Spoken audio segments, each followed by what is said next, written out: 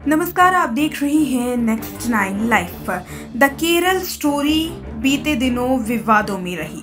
बावजूद इसके सिनेमा घरों में फ़िल्म को अच्छा रिस्पांस मिल रहा है। शुरुआती अनुमान पर अगर नज़र डालें तो अदा शर्मा की फ़िल्म द केरल स्टोरी ने पहले ही दिन में सात दशमलव पाँच करोड़ की कमाई कर ली है, जो कि बीते साल आई द कश्मीर फ़ाइल से ज़्यादा है। दरअसल विवेक अग्निहोत्री द्वारा निर्देशित फ़िल्म ने पहले दिन तीन दशमलव पाँच पाँच करोड़ रुपए का कलेक्शन किया था, जो कि द केरल स्टोरी की पहली कमाई का आधा है।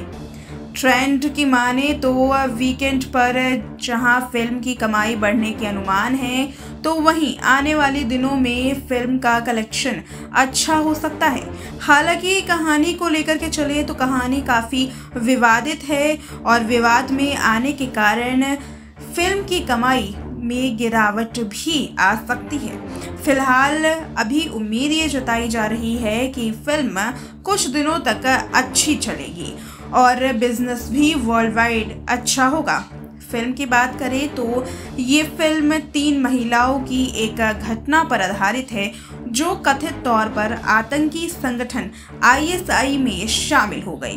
फ़िल्म में आदा शर्मा के साथ योगिता बिहानी, सोनिया बलानी और सिद्धि इदनानी जैसे कैरेक्टर्स नज़र आ रहे हैं।